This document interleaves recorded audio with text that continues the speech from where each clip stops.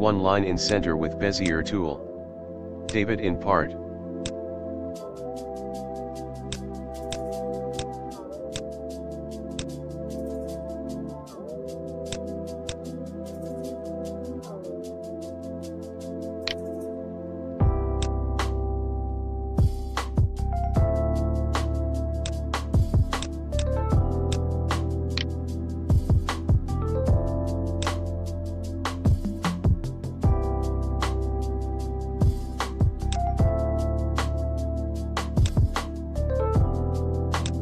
Now start create design with Bezier tool.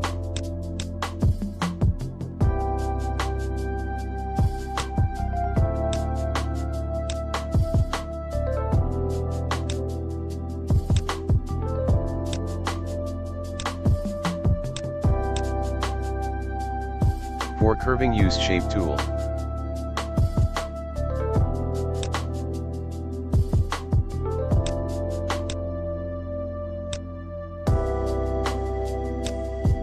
One side draw then make flip copy other side both PCS select and do weld button.